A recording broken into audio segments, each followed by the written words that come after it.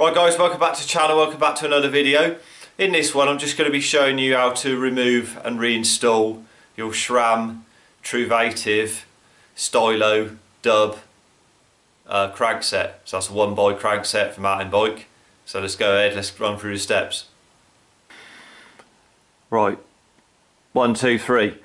Right, so here we have the uh, crank set. Now, this is, like I said, a Truvativ Stylo um, crank dub, as you can see there. So, first thing we do to remove it is you can either push your derailleur forward and then drop your chain off.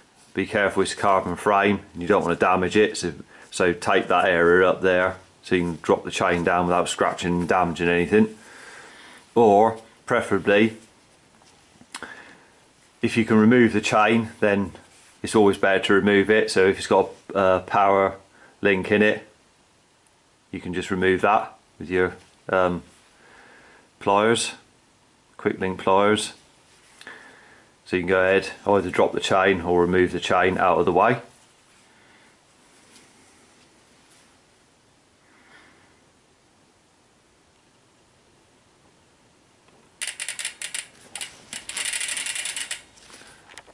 I'll do that again. Right, one, two, three. Right, so we have the SRAM crankset. Like I said, this is a one by uh, 12 speed.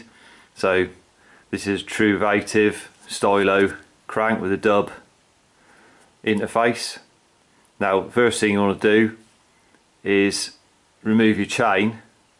So you can either drop the chain off, just make sure if it's carbon frame you don't damage anything if you can't drop the chain off, you've got a chain guide on there or anything like that, and you can't drop the chain off, then just remove the chain with the uh, with the uh, quick link and take it out, so you can remove the chain off. That's the best option. So now we're on the left-hand crank arm now. So what you want to do is look for a two millimeter hex. There's an arrow by it, so you can see where it is. So what you want to do with that is we just slacken that off. Just undo it. A few turns. So it's loose. Once you've loosened it then what I'll do is you can just undo it anti-clockwise or counterclockwise until it stops moving. Then we go back to the uh, right hand side drive side. So now we're back on the right hand side chainring side. Now you see there you've got a, a, cap on the end where the writing's on. There it says dub. Now you're not looking to remove that cap on the end. That stays in place.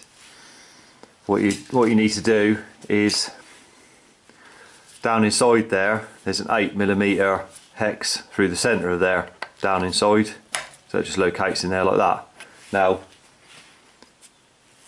you can use one of these normal Allen key hex head but you won't be able to undo that if it's been tightened up properly then one of these will not undo that nut. Because the torque on that is 54 newton meters so it's tight and if you've never had yours apart before then you don't stand a chance with um, a normal uh, Allen key. So what you need to do is get yourself a socket like say 8 millimeter and get a decent sized bar, a couple of foot, three foot bar to undo it with. And then even with a bar that size, you could be trying to undo it by holding onto the crank arm with one hand and then undoing it anti-clockwise, counter-clockwise with the bar. And you still won't be able to undo it. So you can either get somebody holding the opposite side crank arm for you, holding on to that whilst you try and undo this side if you've never had yours apart before.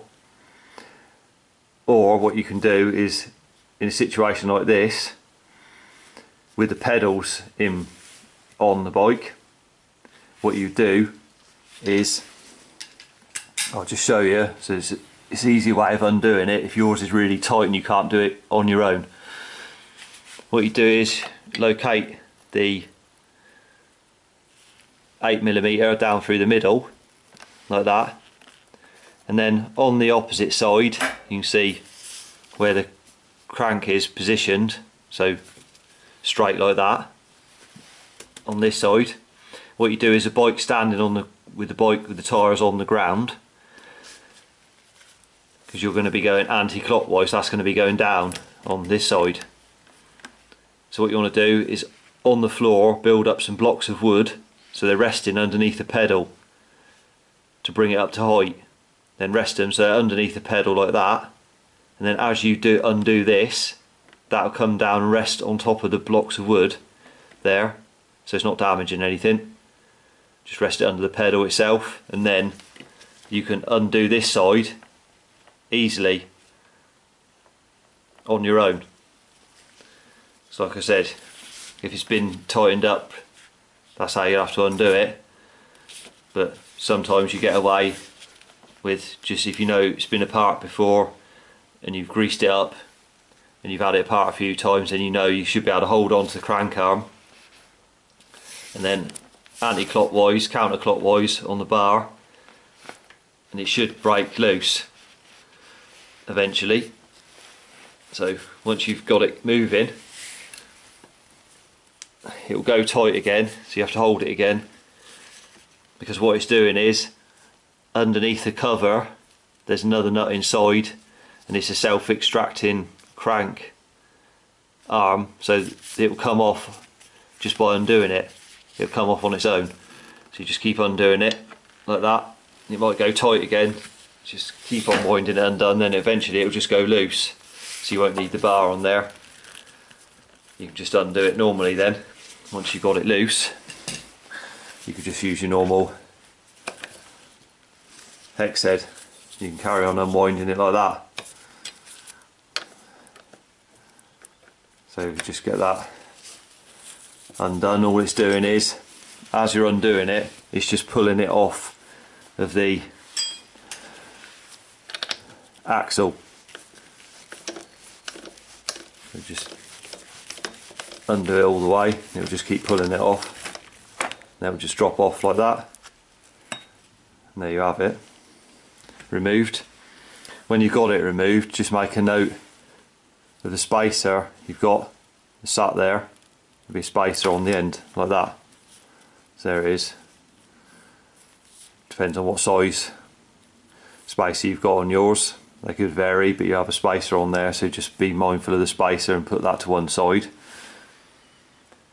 then when you've got that undone then all you do we get a soft blow hammer rubber hammer and just give that a tap and it'll come back out of the left hand side. So I'll just hold on the arm that side just give it a tap like that. And we slide it right out of the opposite side and there it is removed so what you want to do now is go ahead and just clean up the parts get all the old grease and dirt off them what's accumulated. Then clean up round the bottom bracket where it's going to go back where it's going to slide back through. Just get any old grease off there as well. So this just happens to be a press fit bottom bracket but you could have a threaded bottom bracket so once you've got your parts cleaned up then what you want to do to go ahead and reinstall it is first with the crank what you want to do is like I said make sure that that adjuster ring there is undone anti-clockwise until it's stopped moving.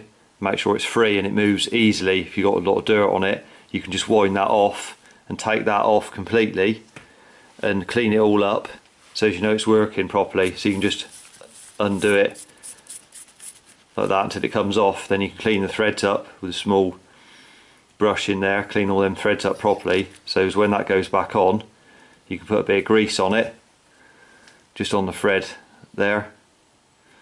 And then you can do it back up. To make sure when you tighten it up don't cross thread it on there or anything like that. Then you do it back up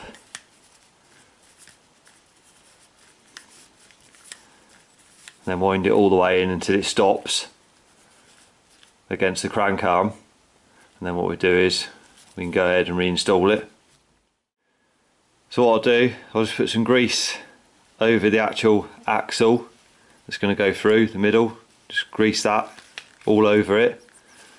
And then you going to do, just put a bit of grease just on the inside there the bottom bracket both sides just to slide it through like that. Then what we do is put it through from the uh, left hand side. So slide that through like that. Make sure it's right through. And then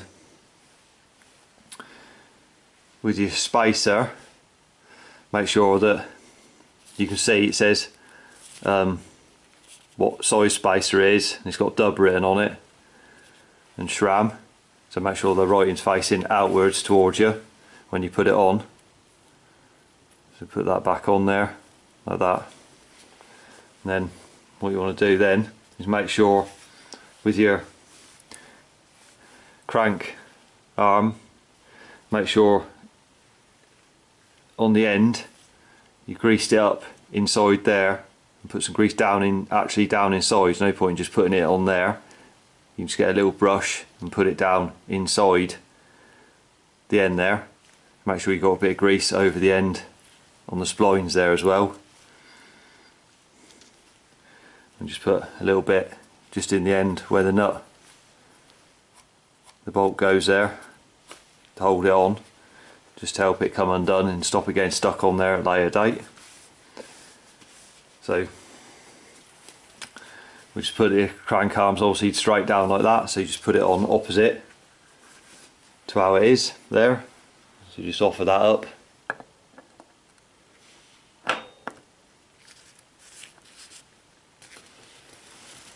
So it's opposite to the other one. And then what you do is get your 8mm hex head just start doing it up. As you're doing it up, what it's doing is it's just pulling it onto the splines. So you just keep doing it up by hand there until it stops moving. You can just nip it up with your hex head. Just pull it on there like that. Like I said the torque on it 54 newton meters so if you've got a big enough torque wrench for that then go ahead and set it 54 newton meters and torque it up if you haven't then you can just do it up so as it's tight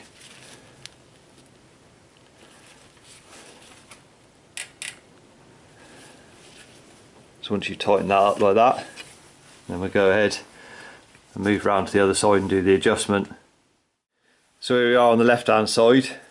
Now the ring there that you loosened earlier, what that is is just your bearing adjustment. Now being as it's fully wound back out towards the crank arm, if you notice there's playing it in and out as you can see and probably here. So what we want to do is adjust it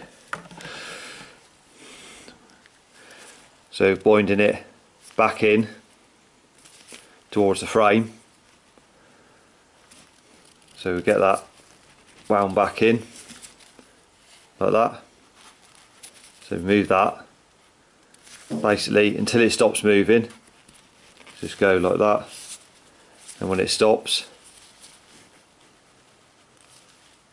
like so then check again grab hold your crank arm rock it backwards and forwards. As you can see there there's no play in it. So once you just once that's nipped up then that's enough. You don't have to go any more than that. And then get your 2 mil hex head and just do that back up. Just literally nip it up. So it closes that gap up there between the plastic just nip that that's always got to be is nipped up you don't want to over tighten it you just round it off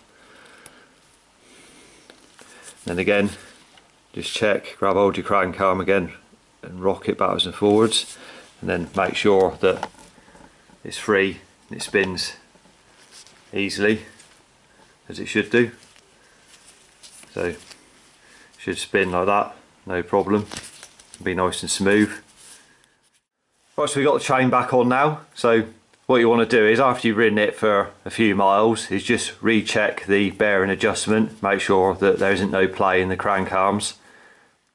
So I hope you found the video helpful. If you did, remember to give it a thumbs up. Subscribe to the channel for more cycle related content. Till next one, ride safe and I'll see you then.